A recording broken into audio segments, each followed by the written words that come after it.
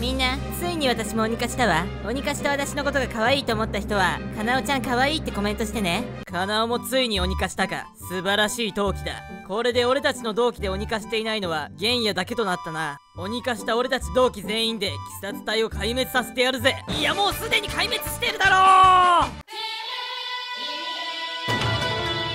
ムーザン様一体この鬼化シリーズはいつまで続くんですか？さすがにもう視聴者も飽きてきていますって。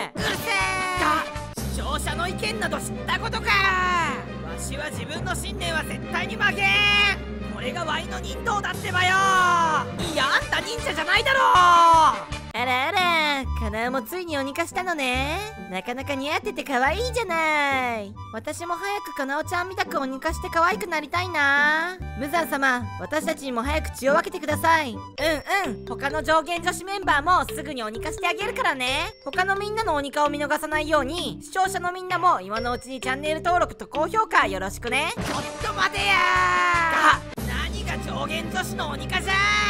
そんなことより私の鬼化のが先だろ。いつになったら私の順番が来るんじゃいやあんたはもう諦めろよ。うわー親方様に殴られたよ痛いよかなおたん助けて。